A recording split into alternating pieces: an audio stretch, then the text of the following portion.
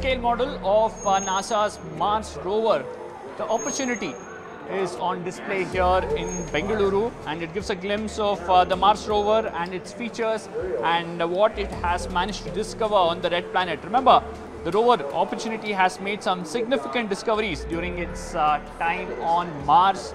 The rover landed on the red planet somewhere uh, in 2004 and uh, although it was designed for uh, around 90 days period, uh, NASA believed that it would be operational for 90 days period. That's what it was designed for, but it beat all odds and expectations and was operational till 2018. And uh, remember, during its time on Mars, uh, the rover uh, weathered dust storms, solar flares, uh, cosmic rays, and other challenges on the hostile terrain of uh, the planet Mars. It's also made some significant discoveries, like evidence of uh, previous existence of water on Mars and it also proved uh, if conditions were suitable to sustain microbial life. Now, uh, this real life model on display here in Bengaluru, NASA, hoping that this will inspire young minds to take up further research uh, around space and uh, other planets in space. And remember, there is uh, Gaganyaan as well that uh, the ISRO is planning and uh, all these agencies hoping that yes, this real life model will inspire young minds here in uh, Karnataka and in India.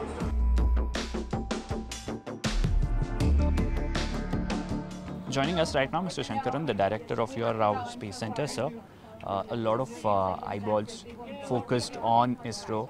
Uh, any update on Chandrayaan, sir? A lot of work happening, we do understand.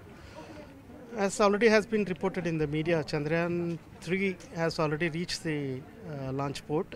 The preparation is going on there at uh, Sriharikota, and we do expect that uh, sometime in July the launch can take place. So that is update on uh, Chandrayaan 3. So, any, any uh, specific things being looked into considering the past, what's happened with the first two?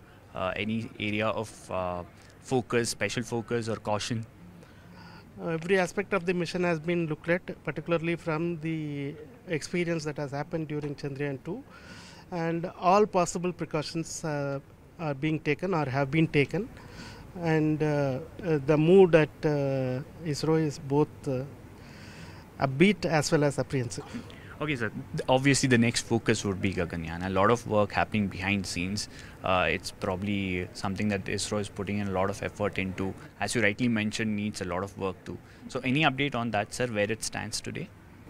Gaganyaan, as you know, uh, is a very very intense, uh, with lot of um new developments activities uh, to take place. So uh, many developments and many tests are happening for Gaganyaan, which uh, is not visible to public. That is why this uh, question is coming. A lot of work is uh, going on, and uh, we do expect uh, there will be something which will be visible to people during this year. Okay. So, you're, you're saying by the end of the year there'll be something significant there that will be, people yeah, there will be something which will people will be uh, newsworthy is going to come. So, Okay. Thanks a lot, sir. Thank you for speaking to CNN My News pleasure. 18. With camera person Riaz, Harish Upadhyay for CNN News 18.